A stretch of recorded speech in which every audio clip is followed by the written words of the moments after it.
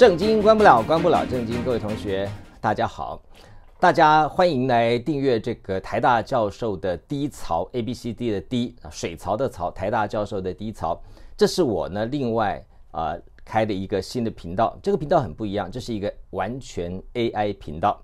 你们看到呢，除了我讲话的部分是我自己以外，其他的全部都是 AI 生成的，包括内容、文稿。还有它的这个背景，还有我们的助教，还有我们的所有在里面出现的，除了我以外，全部都是机器人带来的最新科技。当然，我们会做人工的审核，就是说我们不会让机器人操控了我们的思想啊。机器人说蔡同学有二点五个博士，我就说哦，AI 好棒棒。AI 说蔡英文有二点五个博士，不会的。那就有人问我们说，呃，机器人怎么看蔡英文啊？我其实，在半年前我们就做过了这一则，那时候。Chat GPT 在台湾还不太有人知道的时候，我们就曾经做过了这一段，所以我接下来呢跟大家分享一下，呃，我们在大约半年前所做过的“震惊关不了”里面，我们的机器人在第一时间怎么描述我们的蔡同学。这个 Chat GPT 啊，确实蛮好玩的。于是，我的一个好朋友呢，他就玩了一个梗。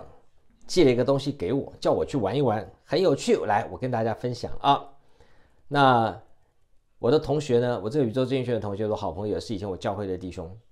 他就问了这个 Chat GPT 一个问题，他说：“这个中华民国总统蔡英文是否有完成伦敦政经学院的 London School Economics and Political Science 简写缩写 LSE，中文正式名称叫伦敦政经学院或伦敦经济学院的论文？”是否有经过博士口试合格？很好笑哈，这个这个 Chat GPT 它会回答你，而且回答的非常的有趣，胜过人脑。好，听好哦，你上这个网站啊，你去输入。那我这个朋友问的问题是：中华民国总统蔡英文是否完成伦敦政经学院的论文？是否经过博士口试合格？太有趣了。你知道电脑怎么回答吗？这人工 AI 智慧 ChatGPT 回答你说，它有各国的语言哈。根据蔡英文官方网站的资料，他曾经于1984年在伦敦政经学院完成了一篇论文。这篇论文他翻译的很好笑，叫《当权者与反抗者对政治行动的认知》。这个地方就脱贼了。当权者与反抗者对行动政治行动的认知，这是蔡英文所出现的第六个论文题目，这是 AI 帮他分析的。哼可见蔡英文的论文题目在网络上有多么的错乱，错乱到 AI 人工智慧都分不出来到底他的论文题目到底是什么了。你今天如果去 AI 问说，请问彭文正的硕博士论文题目是什么？你们可以去找了哈。我不知道我有关彭文正的博士论文的讨论有没有大到可以形成资料库。这个 Chat GPT 会不会理你了哈？如果有，他一定会告诉你有单一的题目，因为我从头到尾都只有一个题目嘛。但因为蔡英文忽而这个题目，忽而那个题目，一下把什么 Part Two 的题目当成论文的题目，这是扯到非洲去了。所以这个 Chat GPT 的脑袋应该烧掉了，电路应该烧掉了，所以他就给了一个很奇怪的论文题目。不过他说了，他曾经在一九八四年在完成了一篇论文，并且在一九八七年通过合格口试。这是 Chat GPT 的 AI 告诉你的，这个就有趣喽。他为什么说一九八七？这个值得推敲哦。一九八七年哈，其实是蔡英文的论文拿回台湾以后，反反复复被外交部、被教育部要求认证，被考选部要求认证，来来回回认证。我在节目中讲过嘛。我当时拿完博士回到台大教书的时候，我只签了一个授权书，台大人事是把它交给了台湾大学。呃，就转给了驻旧金呃驻芝加哥办事处，芝加哥办事处经过两个礼拜的认证之后，就直接告诉台湾大学说确证属实，彭文正，Wisconsin 博士，结束了。从此以后，没有任何人去怀疑我要我拿博士毕业证书，也没有任何人叫我去认证，这一生就认证这么一次。可是蔡英文一九八三年回到台湾之后，他来来回回一直被认证到一九八七年，还有人在问他说伦敦政经学院的修业规定到底是什么？你这个学位到底是什么学位？所以你看，这个 AI 就告诉你说，蔡英文在一九八七年通过口试合格。问题是哪有这回事啊？好，没关系，我们再来看，人类呢又问了他一个问题，除了蔡英文的官方网站之外，这个世界上任何地方有经过该校口试合格完整的博士论文吗？就是除了蔡英文自己说的那个一页一页之外，全世界任何角落能够找到蔡英文的合格论文吗？这个现在最夯的 Bill Gates 强烈背书的这个人工智慧软体叫做 Chat GPT 就回答了这个问题。好。他回答说：“蔡英文没有完整正版的博士论文。”来了，来了，来了，来了，请张永慧啊，看一看 Chat GPT 告诉你的答案，好吗？这个 AI 人工机器人说，蔡英文没有完整正版的博士论文，但是他在伦敦政经学院的成绩单中有记载，虽然蔡英文曾经参与口试，但是没有完成全部的要求。所以未能拿到博士学位证书，太有趣了。比尔盖茨认证，比尔盖茨的他的公司 OpenAI 创造出来的 Chat GPT 人工智慧软体，在全世界有关蔡英文博士论文这件事情的公开私下能够拿得到的资料，大数据分析之后，他下了结论：蔡英文。没有完整正版的博士论文，这是机器人说的。但是他在伦敦政经学院的成绩单中有记载，你看精不精准？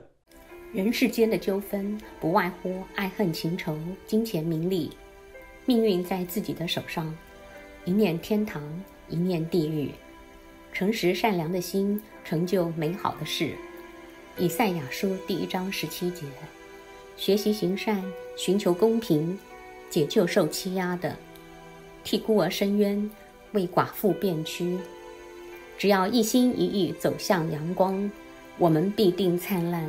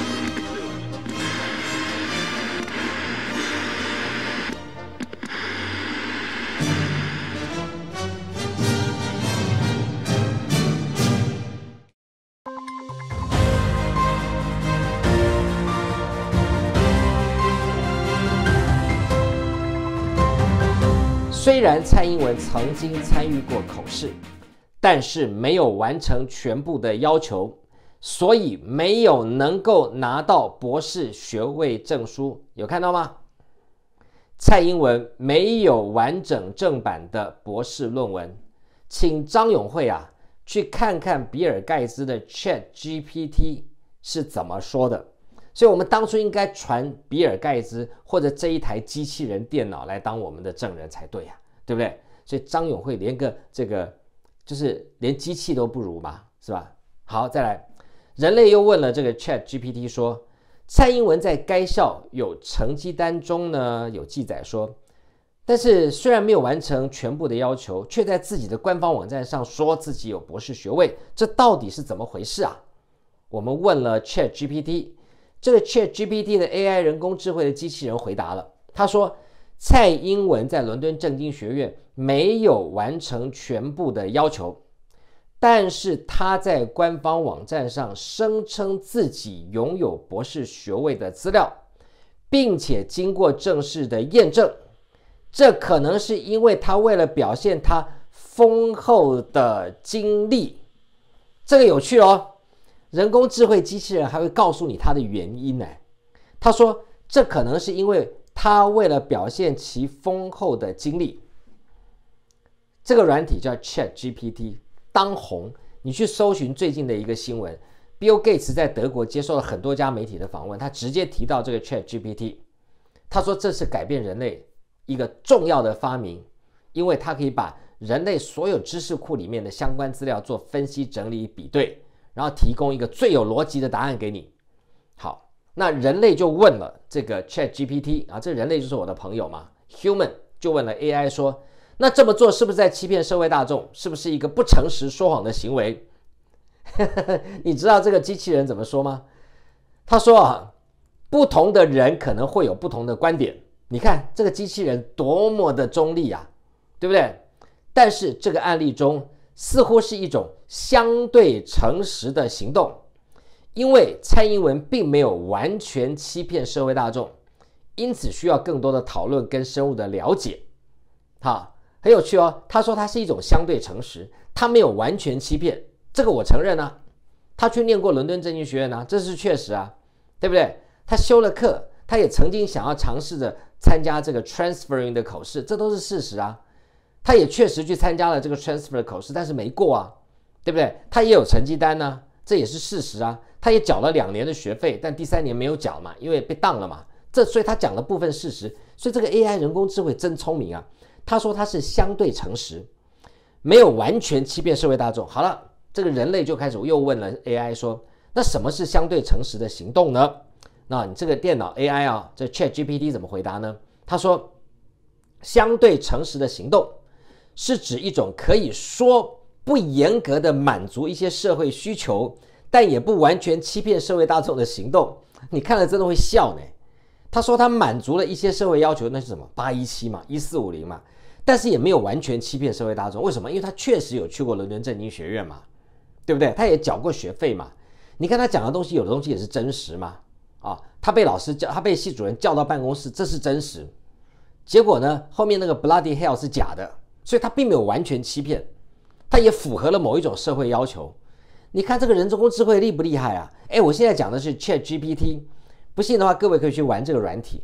它有一个是 Human AI，就说你是 Human，你代表人类，你要问什么问题，然后这个 Chat GPT 呢，它运算把所有全世界有关这个东西的资料收集完以后，告诉你答案。好，再来，那这个 Human 人类啊，哦，他说这个。这个 AI 啊，这个机器人更有趣。他说啊，这个相对诚实的行动是指有一种不严格的满足一些社会的要求，就是你不是很严谨，但是又没有完全欺骗，而是确保自己有一定影响力，而且清晰表达自己所做事情的目的。就是你欺骗了别人一部分，没有完全欺骗，但是目的为了要达成让某一部分人满意。而达到了一定的影响力，确保一定的影响力，这是人工智慧 AI 的答案哦。好，接下来 Human 这人类又问他说：“那你所谓的并没有完全欺骗社会，但有诚实的对待社会吗？你讲的是没有完全欺骗，可是这算是诚实的对待社会吗？”这个 AI 啊，Chat GPT 回答了关蔡英文的事情。他说：“是的，相对诚实的行动在外界看来并不完全欺骗社会大众。他更加关注的是如何正确的告知个人讯息，这样就可以保证这些资讯能够被社会大众正确的理解。”讲了半天，这就是认知作战。他说：“是的啦，相对诚实哈，事实上没有完全欺骗社会大众，他只是啊更加的这个。”呃，整理之后要让呃某些人能够保证这些资讯能够被社会大众呢有正确理解的可能性啦。好，好，那么这个呃人工智慧啊，这个这个人类又问他说，什么叫做相对诚实的行为？这个机器人就回答了，他说，相对诚实也强调了自律，也就是个人需要控制他的言行，以确保不会对他人或社会造成损失或者有害的影响。这个时候，我们应该来问一问哈。今天我做完节目，我再来问他这个人工智慧说：“那这样子你不是伤害了彭文正吗？” 我看他怎么回答。他可能电电线会短路烧掉，说彭文正是谁啊？好，我们接下来看这个人类又开始问 AI 的问题说：“那你个人认为啊，蔡英文的行动是行为诚实吗？”这个 AI 就回答了啊，这个人工智慧就比尔盖茨回答了，他说：“根据新闻报道，哎，很有趣哦。根据新闻报道。”一些人认为蔡英文的行为是不诚实的，但其他人则认为这可能是一种相对诚实的行动，因为蔡英文没有完全欺骗社会大众，这需要更多的讨论。你看看这个人可不可以去当这个这个？他是够相怨的啊！这个机器人够聪明的。他说什么？根据新闻报道，有一些人认为蔡英文的行为是不诚实，但是有一些人认为这是相对诚实，就像陈时奋、翁达瑞，对不对？林非凡、什么蔡诗平这些人，他们认为蔡英文没有什么不诚实，他们是一个相对诚实，因为蔡英文并没有完全欺骗社会大众。他说这个呢，要需要更多的讨论。好，那人类就继续问了，说如果你有小孩，你会希望跟蔡英文一样的价值跟行为吗？我这个朋友太有趣了哈，我这朋友是一个非常优秀的建筑师，他说这个这个电脑就说了哈。我会希望我的孩子拥有诚实的行为原则，也就是要勤奋努力，追求真理，并且拥有责任感，在任何情况下都不会欺骗别人。这是电脑 AI 机器人的答案。当然，这机器人不会有孩子，因为没有人他娶不到老婆，因为没有人要嫁给一个机器人。但是这个机器人有正确的价值观。他说：“我会希望我的孩子。”拥有基于诚实的行为原则，也就是要勤奋努力，追求真理，并且拥有责任感，在任何情况下都不会欺骗他人。结果呢，我这个朋友呢就继续问了，这 human 就问这个 AI 说：“所以你希望你的小孩跟蔡英文不一样？” 这电脑啊，比尔盖茨就回答了：“好，这是比尔盖茨的，他拥有的呃百分之五十以上的股份，这个叫 Chat GPT。”他回答说：“我希望我的孩子能够抛开。”蔡英文的行为，建立自己的价值观，表现出不同于他，就是蔡英文的相对诚实的行为。这个答案真的太有趣了。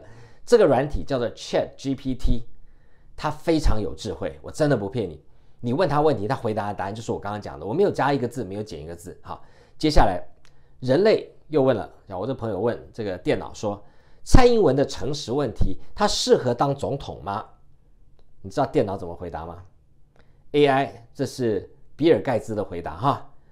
对于蔡英文的诚实问题有不同的观点，由于每个人对诚实表现出不同的看法，所以对他是否适合当总统这个问题，还需要在更多的因素下去做啊。这个用的文法叫做就更多因素下去做。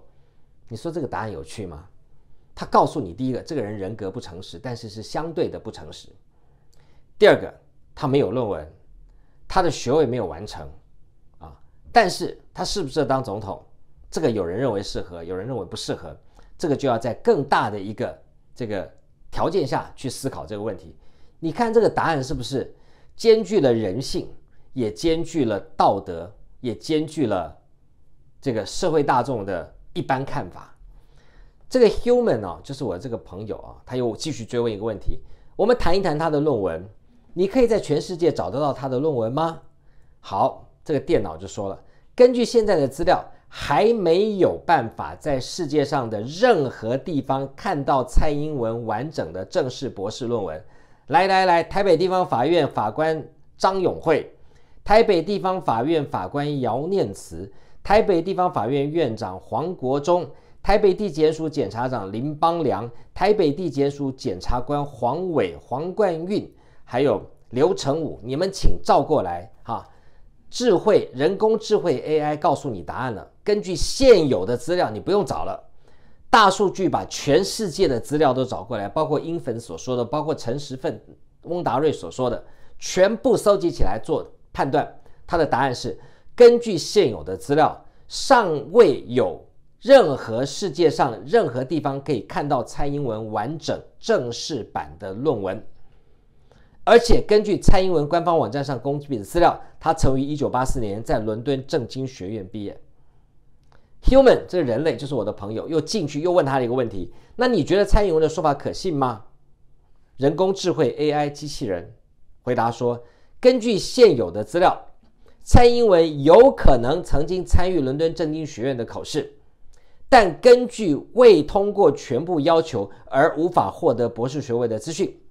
他的声称拥有博士学位并不可信。来，人工智慧 AI 由比尔盖茨投资的，现在世界上最夯的一部巨型的人工智慧 AI 的机器人，告诉你正确答案了。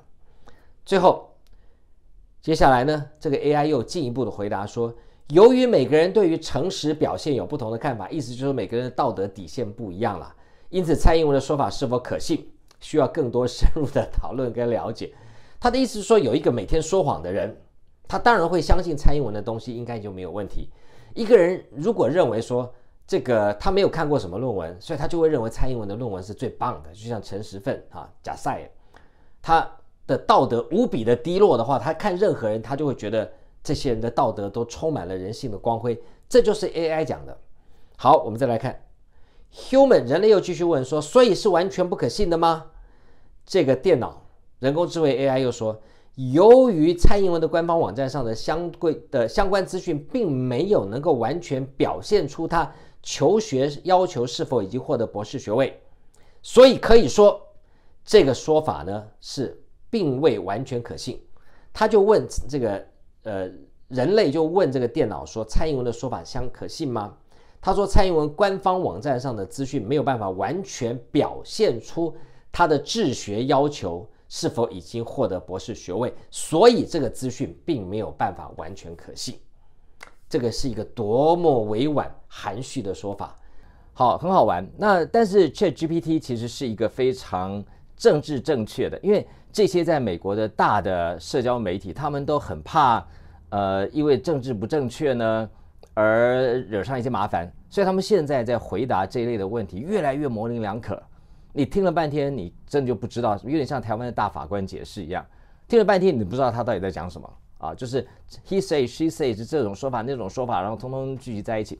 不过现在有越来越多的这一些资料搜集、资料分析、帮你写文章，甚至下评论的这些呃电脑的 AI 呢，越做越精致。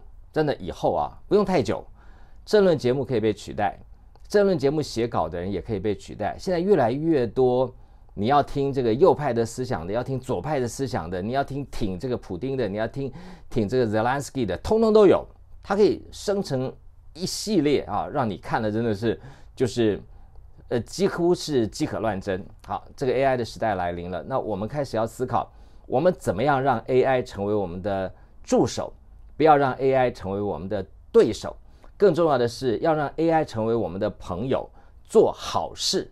不要让 AI 成为我们的敌人，做尽了坏事。这个当然不是我们现在什么速发部那个卖面线的唐凤的那种格局可以解决的问题。我希望新政府赶快把这个 AI 的呃多办研讨会，引进一些观念，然后做出一些平台，让台湾人民呢能够慢慢的在这个平台上生根。其实台湾很多年轻人啊，你去看台湾有一些介绍科技尖端的，包括 AI 在内的一些。网站都有非常高的点阅，可见台湾有很多年轻人是很渴望追求新知，只是很可惜，台湾的政府永远慢拍，不止慢半拍，慢了两三拍。我在国外，特别是我身处在戏谷，我的感受非常深刻啊。在戏谷，当然你就不要说了啦。美国最进步的，全世界最进步的社交媒体，还有 NVIDIA 这些做系统供应商的，甚至做晶片的，一直到下游的应用城市，多的一塌糊涂。现在在这个戏谷，你在嗯，在 Cupertino，在 San Jose，在这个这一带啊，在 Apple 的总部附近，你 Santa Clara，你到处都可以看到有一堆的人在成立一些 AI 的相关应用城市的小公司。那越来越发达，那我只能说，台湾不要在这第三波的工业革命当中又落后了。好，那么我接下来呢，要跟大家呃分享的是，哦，我们在 AI 当中呢，也助教凯西跟皮可，他们两个真的是我的幸运物，就是我从一个从公园，一个从这个呃剃刀的边缘，呃刀下留情，把他给救了回来。那我相信。这两个很可爱的小动物是非常有灵性的哦。我越来越了解了这个呃凯西小姐，哎，凯西小姐非常的护主，她果然是一只非常忠心的德国牧羊犬，他应该是认定我是他的救命恩人。你知道，当 Pico 跟我玩呢，因为 Pico 比较那个狼性，它比较像是一只那种斗犬，所以当他跟我玩，有时候他要叼我的那个拖鞋，他会发出那种吼声，会抢我的鞋子。你知道这时候凯西怎么吗？一个箭步上去。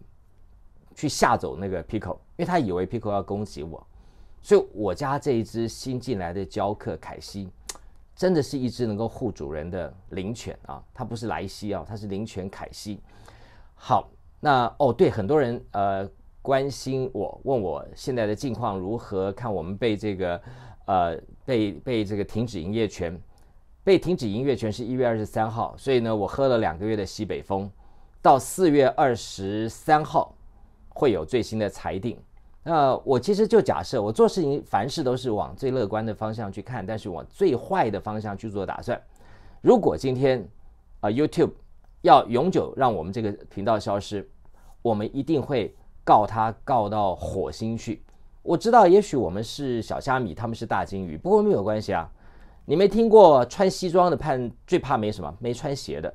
所以我觉得这个部分。我还是那句话，我其实可以做的事多得很。我可以种柿子，我可以种无花果，我可以种橘子，我可以种柳丁，可以种葡萄，呃，我还可以在戏谷做别的事情。我现在正在成立一些，呃，戏谷方面有关于怎么样用 AI 去帮高中生找到他们喜欢的学校的这样的一个平台啊。那等我做出来的时候，当然这个主要是在美国给美国的使用者啊，或者全世界对于美国的学校有兴趣的使用者。然后等做出来再跟大家分享。好，我今天要跟大家讲的是说，谢谢大家的关心。我们还有一个月会收到 YouTube 的最后裁定啊。那不管怎么样，我们一定不会关，正经关不了。他把我们关掉，我们会在别的平台上出现。而且我们三十五万人，你把我们给杀掉，我们从三十五个人开始做起。我总是不会低头，绝不会低头。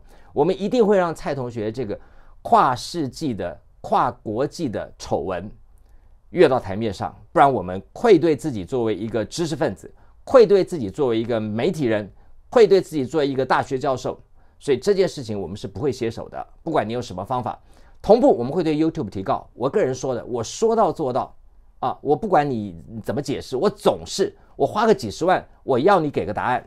你凭什么把我的频道认为我有害物质？你至少给我上法庭写个诉状。我再把你写的书状呢集在《恶官》这本书当中。那接下来我们可能要把你叫做这个恶人啊、恶者啊，或者是呃这个恶公司之类的。好，这是我要做的事情，是为历史写下记录。我不管你多大，你大到美蒙里我也无所谓哦。我要做的事情跟现在的人要做的事情是不一样的。那些人争一时、争权位、争什么要选哪里、争什么呃要当招委、要争这个要争那个，我们要做的事情是。不是争一时，我们也争一时，但是更重要的是，我们争千秋。我们把历史事实记录下来，让它永久保存在世界重要的知识库里当中，这才是我们要做的重点。当然，我们还是欢迎大家，很多人关心我们的生活，我的生活，我的家庭的生活，还是欢迎大家按赞、分享、小铃铛、抖内买我们的产品，支持我们。各位不用担心我跟我家人的生活，你们不用担心。那因为我到这把年纪了，如果我还没有办法负起养这个家的责任，那我真不配当一个一个一个爸爸，一个先生，一个男人。我就找面墙抹一抹，一头撞算了。所以，我可以让我的孩子过得好，过得普通，过得稍微拮据，那都不是问题。重点在于，我们今天要做的事情是一件超过我个人的事情，是一个跟社会公益相关的事情。我们透过这么多的官司去打这些官司，去告这些恶官，不是为了我，因为这些恶官去坐牢对我没什么好处啊。那我们做这件事情，包括出书在内，包括传递真实的声音，The True Voice of Taiwan。我们是希望这个世界上还有长存的公益。那这件事情属于公共事务，这也是为什么我要跟大家呃要求，拜托大家一起参与，有钱出钱，有力出力。所以大家的抖内，大家的支持，大家的分享，是为了这一个公益平台，我们做对的事情。一起有钱出钱，有力出力，聚沙成塔，集腋成裘。那这个资源多，我就多做一点事；这个资源少，我就少做一点事，或者多卖点房子。总之，各位不用担心，我个人的生活是不会有问题的。但是，我们如果要往下做一些比较大的事，我们确实是需要大家共同的帮忙跟努力。所以，欢迎大家，如果你们认同正经关不了这。五年来的走过的路，或者是你认同过去从正经现实批正经看民事到正经关不了这十年我们共同做的事，今天我们公司的一些小编年轻人都是跟着我这十年来一路走来都没有没有改变，他们做的不是一个工作，他们领的不是一份薪水，他们做的事情是一份使命，所以不管我的公司赚钱不赚钱，有没有。呃，收入像现在没有收入，我都不会辞掉他们的工作，因为我的工作不是在养一群员工，我的工作是跟一群优秀有胆识的年轻人共同实践一个世上一般的记者、一般的媒体人所不敢追求的梦想，这是我的一个小小的使命，或者我的一个小小的感受，跟大家分享。好，这段广告呢，我们要继续来看满满的论文们。人世间的纠纷，不外乎爱恨情仇、金钱名利。命运在自己的手上，一念天堂，一念地狱。诚实善良的心，成就美好的事。以赛亚书第一章十七节：学习行善，寻求公平，解救受欺压的，替孤儿伸冤，为寡妇辩屈。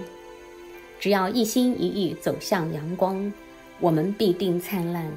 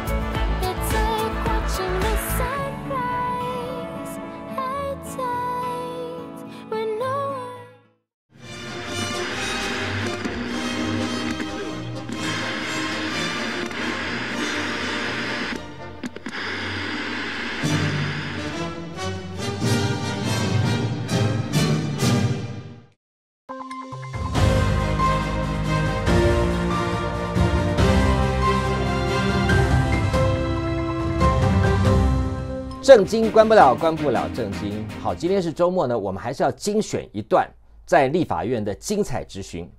这个精彩有两个层面，一个是立委认真质询追得好，让这个官员呢无所遁形；另外一个方面是我们要来看看今天我们纳税义务人养出来的这些公务人员，我们姑且叫他公仆吧。啊，这些公仆呢，在面对民意的监督的时候，他们的态度是什么？他们的素养是什么？你知道，行政院曾经从苏贞昌开始到这个陈继仁，都曾经很嚣张的讲过，说现在的立法委员，现在的这个呃政府官员不会再像以前一样卑躬屈膝。我们没有要你卑躬屈膝，我们只是要你在这个答询的十五分钟，或者是呃呃一个小时的之中，你善尽你的责任。你们要被监督。今天选出来的民意代表，不管是好是坏，有料没料。他都是人民一票一票选出来的，那选出来这些民意代表呢？他们有权利发问，再蠢的问题也是发问。各位看，上次在这个美国参议院众议院去这个质询，呃，就是去这个公听会找来这个 TikTok 的总经理 CEO 周受资，你看那个美国参众议员问的问题有多蠢啊？蠢到你会觉得他是不是美国的初中生？可是。周受资仍然不卑不亢的回应所有的问题，这就是当你在这个受质询的台上的时候，你代表不是你个人；当你在质询别人的时候，你代表的也不是你个人。这是两个民主政治上面的两股力量，而在这个时间，当然是上对下。我再讲一遍，这个人民是比较大的，对不对？这个民为贵，君呃社稷次之，君为轻嘛，这不是很简单的道理吗？君为轻，那何况是你们这些是，呃，这个君王找出来的一些官僚，所以大家在这个时候，你当然是以下对上的方式来回答，因为人民在这个时候最大，人民一年三百六十五天，不过就这一两个小时比较大而已，其他时间全部都是你们的。你们有这个二点五亿的五兆的预算，有四十万的这个公务人员，你在马路上要把人家过肩摔就过肩摔，要大外哥就大外哥。你要掉头就走就掉头就走，你要这个通缉别人，你要没收别人护照，你们的权利还不够大吗？被监督个一小时两小时就受不了了，那你们干嘛当公务人员，对不对？来当 YouTuber 啊，来呀，看你可以找到多少的支持你们的人。好，我们接下来呢就来看看本星期最值得推荐的这段质询。主席，呃，有请部长，还有是吧？好，呃，蔡部长，啊，副秘书长。请上台，谢谢。哎，委员好。好，想请教部长哈，为什么我们要有侦查不公开？是为了要贯彻定嘛，保障被告受审判的权利，并且应避免舆论未审先判嘛，对不对？呃，这是其中之一啊，当然也要呃保保证未来的侦查能够更顺畅了。怕有一些泄密啊，影响所以完全都变成是，啊，那我再想请教您哈，我们照这个刑事诉讼法第两百四十五条，侦查不公开之，对不对？是，请问违反的法律责任是什么？如果我们的检察官违反侦查不公开的法律责任是什么？那呃，可能涉及到泄密的问题了。刑法一百三十二条嘛，对不对？有关于行政责任也有，我讲刑事责任的部分。刑事责任的部分，呃，有可能是泄密的罪嫌呐。有可能嘛，对不对？哈，就是刑法一百三十二条，哈，然后有三年以下有期徒刑第一项嘛，过失犯的话是一一年以下有期徒刑嘛。那我想请教一下哈，到目前为止，哈，我们法务部哈，我们在我看报告当中哈，有讲说哦，每年度七月。度一针对我们的侦查不公开的一个检讨情形哈，要来去揭露嘛哈。那到目前为止，我们就以去年为例好了。请问，侦查不公开，你们检讨了多少件数？讨论件数多少？未依侦查不公开作业办法公开或揭露之变件数，以及查办件数和处分人数多少？呃，每半年要公布一次的哈。我现在是一百一十二年的下半年呐，我们总共检讨了。一千六百七十二件，好，那请问多少件？大概呃，可有违反之余的有九十四件了，好，那查办的有五十件，那结果如何？现在还没有出来。结果如何没有出来啊？是，一年了，呃，半年，半年。半年是到十二月底，一百我我讲的是，我讲的是，那从我们从开始检讨侦查不公开，我刚刚看我们审发会委员讲啊，七千件，三百六十七件成立十五个人。这他是从一百零八年呐。好，那我就从一百零八年开始算。好，那呃，委员需要资料，我会后再提供。我现在手边。那我想请问，那处分十五人是什么身份？就是侦查检察官还是还是警察？都有，都有多少检察官？呃，我现在手边没有资料，我们了解以后跟委员说明。我要特别讲，就今天您的报告当中哈，您的检讨里面也完全没有附附加任何的数字上来。那问到所有东西，你都说要回去提供给我。我也希望你。那我再想请教下一个问题啊。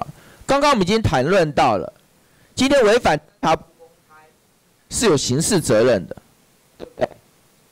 有可能呐，要看我这个声音是有有出去吗？出去对不对？好，那我想请教您哈，到现在为止。对不对？照省委员讲，七千件的讨论，三百六十七件的成立，哈。我想请问您，最后我们台北地检署，我我们的检察官，好，检察机关，最后起诉案件有多少？按照所谓的刑法一百三十二条，起诉案件多少？哦，我要来了解看看。了解多少？能不能请我们的？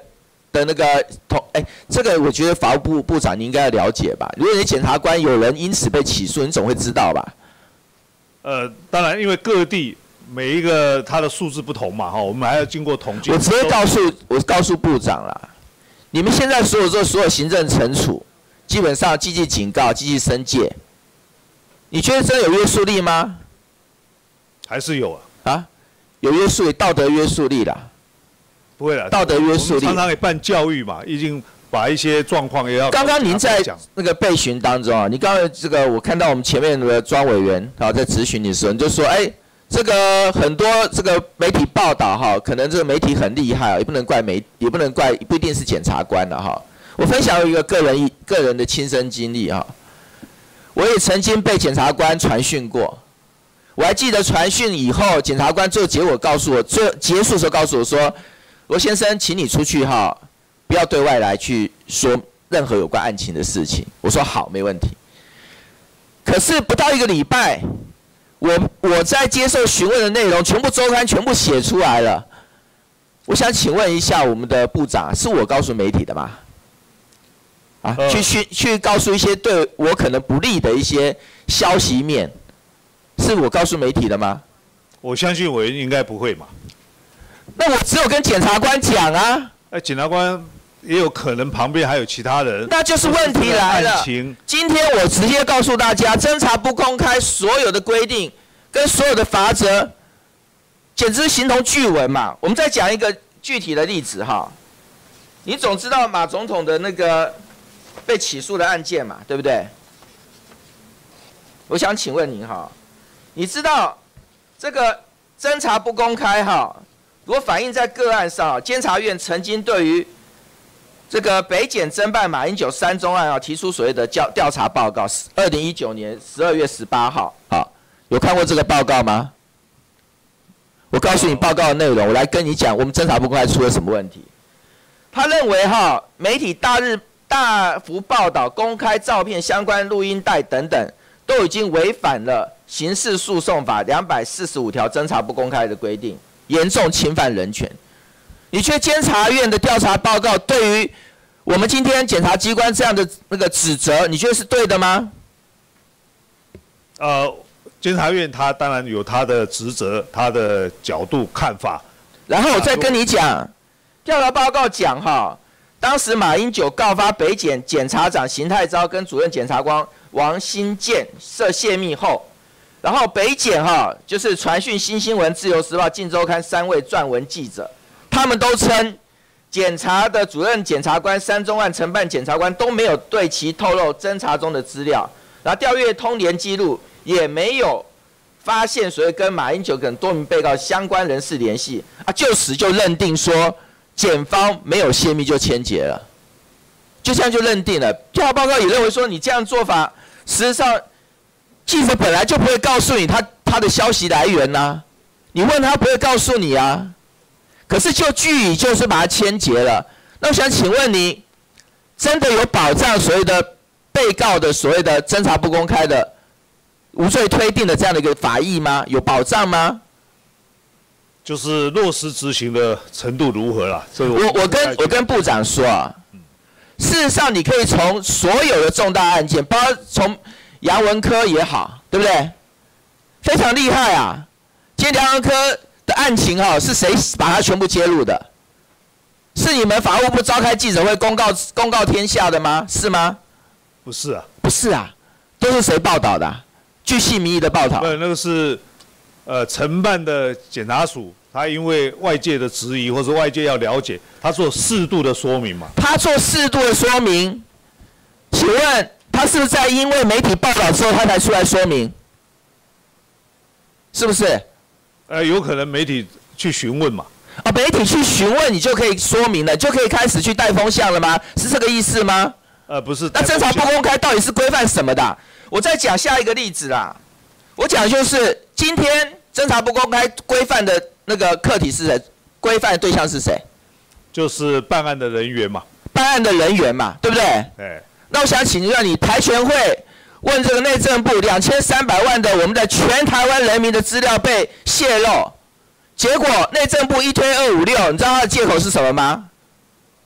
他不肯交代所有，不肯做政府公开透明的讯息，他的理由借口是什么？是什么？你知道吗？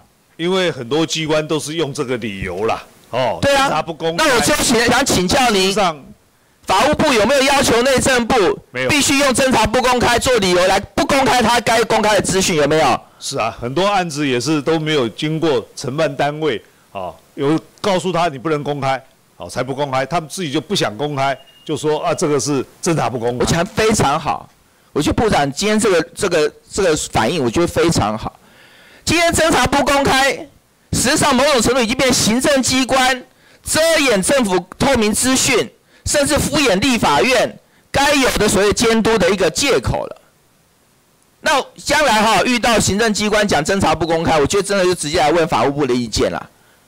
侦查不公开可不可以作为说今天隐匿政府重要资讯的一个借口跟理由？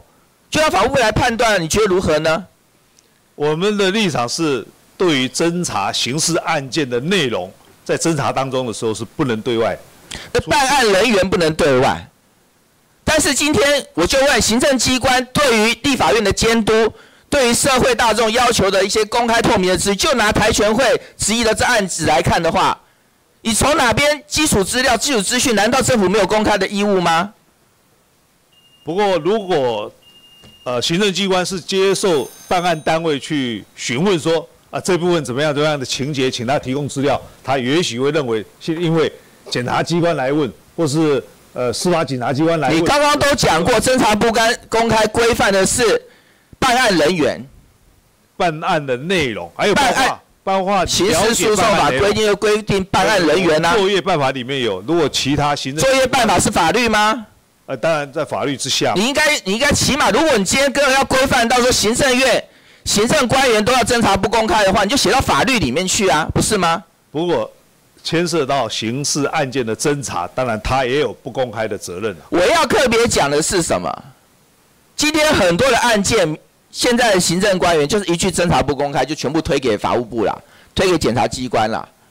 要按看案情的内容啦。如果跟涉及到侦查犯罪，当然是不能。所以我再问你一句话啊，我们在二那个两千二零二二年五月九号哈，邢太昭上任交接典礼的时候，他突然说，他说三中案在高等法院啊审理当中哈，呃若干人士希望借由各种途径来影响二审判决啊。我想请问你啊，邢太昭检察总长适合谈论个案吗？呃，那看有没有符合我们呃侦查不公开的作业办法嘛？我要特别讲，今天整个法制上侦查不公开，不管从你处分人数，今天我们按照刑法所谓的起诉的人数，包括你处分的轻重，根本就形同具文。然后所有的案件到最后就是今天检察机关你高兴要泄露给媒体，独家报道都出来了，然后就跟大家讲说媒体很厉害，因为没有惩罚，也没有约制啊。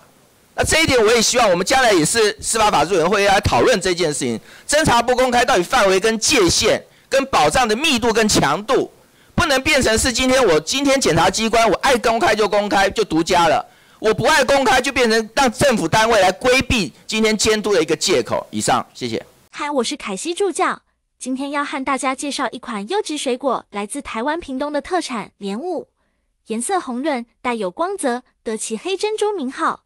每一口都充满着自然的甜美，靠着南台湾的充足日照，孕育出香甜多汁、果肉饱满的莲雾风味。这份清甜可以从莲雾颜色深浅探得，颜色越深，代表果肉的熟度与甜味。无论是清新的早晨，还是夜晚的宁静时刻，这份独特的滋味将带给您愉悦的享受，为您的生活增添一丝美好。人世间的纠纷，不外乎爱恨情仇、金钱名利。命运在自己的手上，一念天堂，一念地狱。诚实善良的心，成就美好的事。以赛亚书第一章十七节：学习行善，寻求公平，解救受欺压的，替孤儿伸冤，为寡妇辩屈。只要一心一意走向阳光，我们必定灿烂。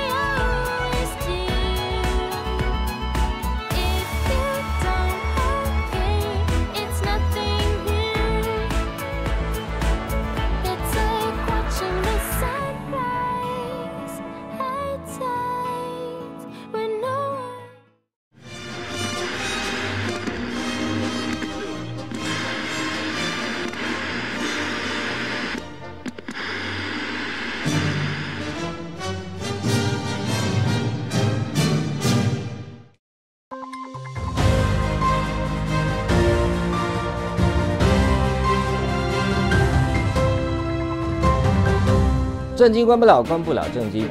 我们在网络上呢，宇宙震惊学院的同学的 Ultimate Decoder of 蔡英文 This Scandal 的版主由于义，他呢最近频频出手，因为实在是，如果你走过这四年调查蔡英文的这个假博士的过程，哇，你实在会咽不下这口气，真的，那个叫做义愤填膺啊，扯成这个样子，而且扯到让你觉得简直太荒唐。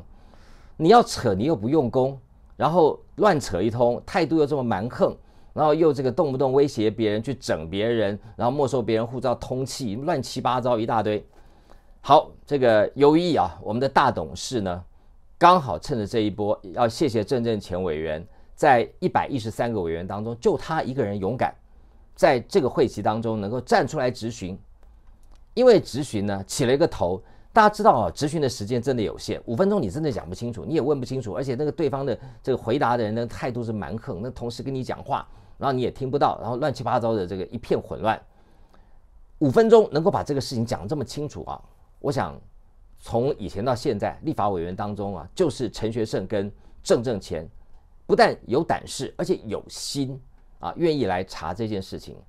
我再说一遍，这件事情的重要性不是个人的问题，也不是。乌哈列乌泡苏不泡苏那也要进，也不是蔡英文要不要下台的，这个不重要，这也不是什么通缉犯，什么你回来呀，什么那都不是问题，那都是小事啊，那都是过眼云烟啊，沧海一粟。重点在于这整个国家的制度、公务人员的体系，简称国家机器，被如此轻蔑又粗暴的方式。彻底给摧毁了。从此以后，司法、教育，还包括的这些外交这些体系，还有侨委会，全部干尽这种见不得人的勾当。这会让我们觉得，你赖清德上来，如果你不整肃这些人，你的新政府没有人会相信你了。你再公布什么讲什么都没有用。本节目啊，虽然不是有几十万人观看呢。本节目也曾经有过那种线上两万多人看，那是四年前我们在首次揭穿蔡英文博士的时候，线上两三万人看，动辄一个影片二三十万人、三四十万人看。现在当然少很多，为什么？因为大家都知道这件事情是怎么回事了，所以他们开始把焦点转移。但是我相信五二零之后，这些通通知道蔡英文是假博士的这些人，他们会回来的，因为这个时候是要进行行动的时候，对不对？我们现在呢，每天讲的东西，当然大部分还是环绕在蔡英文的假博士的部分。我们一个一个揭穿他，甚至把以前讲过的东西拿来温故知新，因为很多人都忘了，有很多人呢，可能以前没有关心过。所以我们要服务的是这一群的这个希望知道真相的同学们。那好，最重要的是台湾的精英分子。都在看我们的节目，我这样讲有一点吹牛啊，不过这是事实啊。也许我们没有很多那种刺青的啊，那种满口三字经的啊，或什么那种人的支持者，那种年轻人很爽的啊，这种人可能不会想要好好的深究一个学历方面的问题，因为他们可能自己没有学历，他们可能也不在乎，他们也不觉得这件事情他们听得懂。但是台湾稍微有一点点。社会经济地位的人，包括历任的元首，还有阁魁，包括了一些部长，他们都在看这个节目。我为什么知道呢？因为他们都有跟我联络，而且辗转的，甚至会问问题，会提供资料。但我不为难他们，也不需要告诉大家他们是谁。但是我要告诉你们的是，宇宙正经学院的同学们的素质跟里面卧虎藏龙的人才加起来，可以组三个内阁。哈。好，我们今天要来分析的是忧郁的这篇文章。忧郁生气了，他说：“信坛小人潘文忠，要不要看你到底说了什么？”好啊，这个潘文忠，如果我现在念的这些东西不是事实，欢迎你来告我，告我哈。这里面呢，我们透过论文门已经看到了司法败类、法官混蛋，再加一个信坛小人啊，要不要去告一下？告我就好啊。告我，然后我们可以呢到法院去诉押一下啊。虽然我不相信法院，不过没有关系。呃，公道自在人心啊。来，为什么潘文忠教育部长又多了一个头衔叫“信坛小人”？这篇文章是这样讲的：潘文忠在立法院答询的时候说，蔡总统的论文、副教授、教授生等资料，都是经过严格审核且有档案可查。来，我们就把这一小段，大概二三十秒吧。当郑正贤在讲的时候，那潘文忠就抢答。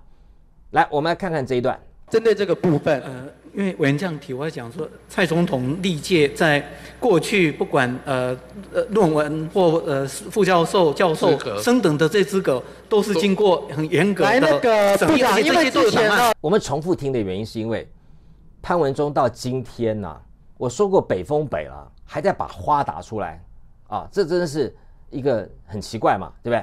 那你们自己是掌握国家机器的人，你可以查。你可以调阅，其实你都知道嘛，你心知肚明嘛。你现在还在讲谎话，这会不会太扯？所以啊，这个网络上有很多人把你封为信坛小人啊。好，那么由于公开挑战你，你说有档案可查，你敢公开吗？敢回应各界的质疑吗？由于说黄忠悔气，瓦釜雷鸣。残人高张，闲事无名，讲的就是你。你身为台湾教育这个整个教育部门的龙头，你在尬拍因那多谁？你在摧毁台湾这个所有的学生、所有的学术界的基本良知，你了解吗？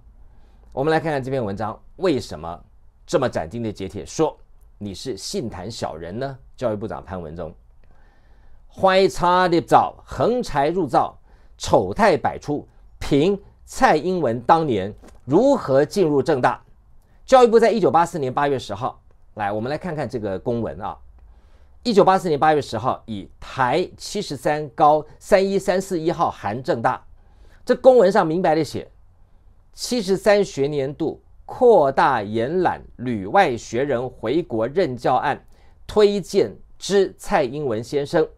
经核定核予比照副教授及补助，唯请补送其正式博士学位证书影本到部备查。可见什么？一九八四年八月十号，蔡英文还没有拿出任何一张毕业证书。蔡英文不是一九八四年，他不是自己号称三月十四号拿到毕业证书吗？还在骂这个英国伦敦政经学院的这个效率很慢。请问你，如果你三月十四号真的拿到真的毕业证书，你八月十号为什么教育部还在催你呢？那不是很奇怪吗？答案很简单嘛。那三月十号的毕业证书，十四号的毕业证书，你就去看二关的封面，二关三的封面上，这个 Mark Cerny 啊，就是他们的博士生院的。的副院长，还包括了，呃，他们的这个法务，包括了他们的这个媒体经理，包括查询经理，都已经帮你认证了嘛？你提供的两张网络上面看得到的两张毕业证书，那些东西给嘛？就这么简单。好，这个呢，上面写的是什么？经核定核予比照副教授及补助，唯请补送正式博士学位证书影本。啊，看哦，影本哦，啊，难怪他会有很多作假的空间嘛。另，本案聘任人员其正式任教资格仍应依照大学及独立学院教师资格审查规定之规定，另案送审，即附还原送著作乙份。问题是，上面想的这么清楚。你还是一个要经过大学独立学院教师资格审查规定啊？结果嘞？结果你没有啊？直接呢用这个呃会议事项把它宣读过去了，完全没有经过审。这就是贺德芬老师说的，你是三无副教授啊。如果你要再加的话，还有无耻啊、无良啊，还有这个呃无格啊、无品啊、无多了。来，这个尤毅说的第一个，蔡英文的公务人员履历表。有注明是教育部的专案员额，这是任教补助案，教育部特别弄出来给你的。那为什么这个韩文上面写的是由正大推荐呢？所以这是教育部挪了一个缺出来，当时的李焕还有当时的国科会，硬是去特权瞧了一个位子，叫正大上一个签来这个量身定做你的教职，结果你拿不出博士学位，人家就弄了一个客座给你，就这么简单。一个有博士学位的人不会去客座，好吗？这是不可能的事情嘛。我们怎么会去客座呢？我为什我受聘于台大，就是台大的正式啊。哎，客座是短暂的呀，这不很简单吗？你到一九八四年的十月份还拿不到你的毕业证书，哼，因为没有嘛，还没有做出来嘛，淘宝还没有卖嘛，Adobe 还没有出来嘛，就这么简单嘛。好，我们再看看。为什么这个韩文是要写正大推荐，而且要正大依照大学及独立学院教师资格审查规程之规定聘任跟送审？我们看这个公文嘛啊，结果呢，扩大延揽旅外学人回国任教聘任权呢，这个聘任权呢是学校教育部跟呃国科会呢，顶多是给你钱，好，所以这个地方是。教育部回过头来跟你说，钱我有哦，缺额我给你哦，你给我聘这个人，所以是教育部反过头来命令正大要聘任某一个人。来，你们告诉我啦，历史上有第二个人这么干过吗？对不对？当时你看马英九这个呃党国一手栽培的人，他进到学界教书是这样子做的吗？没有啊，当时的各位可以去看一看吗？有哪一个大学教授的额是缺额是教育部青辅会硬是把他挪了一个缺，然后命令一个学校说：“哎，你给我聘这个人。”潘文忠，这个叫做按照正常的程序聘任吗？我难怪人家说你是这个是信坛的什么信坛的？我觉得如果是司法败类啊，或者是这个法官混蛋、信坛小人，我觉得可能稍微客气了一点。如果你今天不是教育部长，你可以胡说八道。今天你是教育部长，你张着眼睛在国会殿堂说这是按照合法的程序聘任的，这合什么法？我总之啊，啊你是跑不掉的啦，哈！我跟你说，你真的是跑不掉的。所以啊，我们在呃这一个这个就是论文们已经到了尾声，五月二十号即将来了，五月二十一号会一连串的好戏上演。当然，我们不会抱虎平和，好，我们不会很冲动。我们的司法布局呢，都是经过高人在后面操盘的。所以，蔡同学，你如果知道高人是谁啊，我看你下巴都会掉下来。今天你下台之后，你就会知道，讨厌你的人、不屑你的人、就瞧不起你的人、想要把你送到牢里的人，远比你想象的多得多。好，又到了夜深人静的时刻啊，要跟大家来分享圣经上的话语。圣经告诉我们说，不要这个含怒到日落，也不要给魔鬼留余地。所以呢，到了夜深人静的时刻，大家看这么多恶官，还是保持一个平静冷静的心情，因为上帝说，恶人会像避糠被风吹散。我们不要为作恶的人心怀不平。祝大家平安喜乐，有个愉快的夜晚。明天见。